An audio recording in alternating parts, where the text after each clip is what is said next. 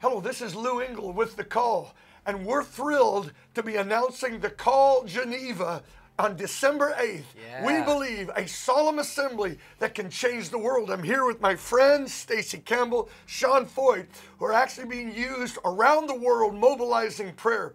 Joel chapter 2 really is the foundation of the call. It's when there's no hope for a nation, when there is no remedy, God says, I still have a holy prescription. Blow the trumpet in Zion, call a fast, gather the young and old, two generations. Let them cry out to God, and afterward I will pour out my spirit on all flesh. The call started in D.C. It was uh, uh, Uh, 12 years ago. 400,000 young people, primarily, but two generations gathered to fast and pray. It was a shot that was heard around the world. It's not an American deal. It's a it's a end time prayer movement for the nations to call upon God.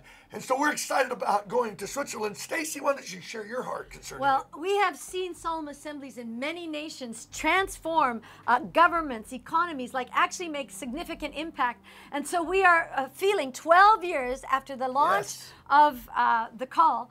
We are feeling to go to uh, Geneva, Switzerland, and the pastors of Geneva have agreed to come together to host a Reformation call where we're going to wait on the Lord in the city of Reformation, where there's Reformation Wall. The World Trade Organization is there. The Red Cross was launched in Geneva out of revival. YWAM. They had YWAM was launched out of Switzerland. So many great movements. It's an international city in an international country, and we feel to launch an international movement of prayer on 12, 8, 12, and culminating on the 10th to the 12th in a prayer school and a burn worship intercession movement on 12, 12, 12. So we want to invite all of Europe to come to Geneva with us. Yeah, we're asking the Lord to send an army of young worshipers and intercessors from all across Europe to come and gather. I was on the ground there a few months ago, and you can just feel uh, that the city, it's pregnant once again with true. revival. Just like the mantle Yeah. on it in, in, in history past, there, there is a destiny on that city to host Mm-hmm. and commission